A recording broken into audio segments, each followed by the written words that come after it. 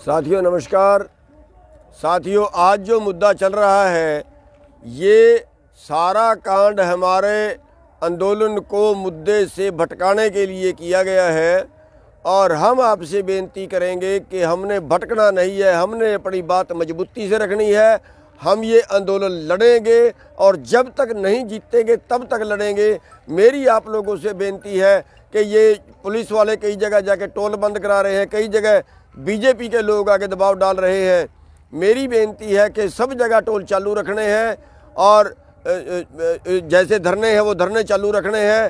Toll इसी तरह से हमने किसी का नहीं कटने देना है। जैसे पहले प्रोग्राम चल रहा है, वैसे ही चलाना है।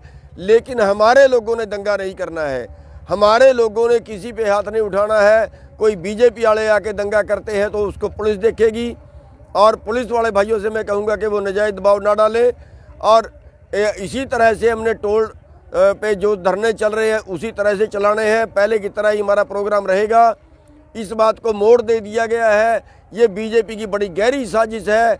आप देखेंगे, जी, जो लोग लाल किले पे दंगा करने वाले हैं, वो लोग गद्दार लोग हैं, वो बीजेपी के आदमी हैं। उनकी फ़ोटो अमित शाह से आ रही है, उनकी फ़ोटो जो है वो देश के प्रधानमंत्री से आ रही है। और हमारे ऊपर इसका दोष इसको दोषी बना दिया गया है। तो साथियों, उस मुद्दे से भटकने की ज़रूरत नहीं है। हमें अपने आंदोलन पर ध्यान देना है।